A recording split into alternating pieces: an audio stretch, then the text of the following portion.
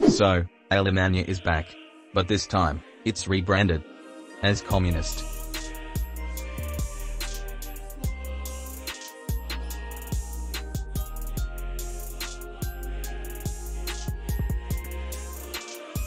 So, it's June 4th.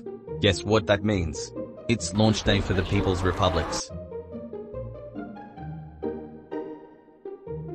Got Hoda back.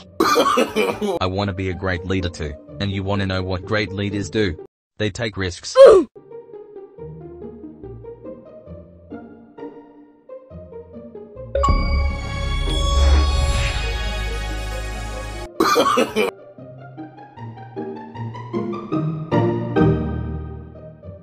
It's Slapgard, the ruler of the Armenic realm.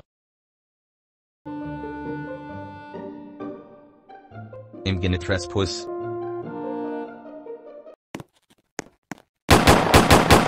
That did not go well. But the rally is beginning now.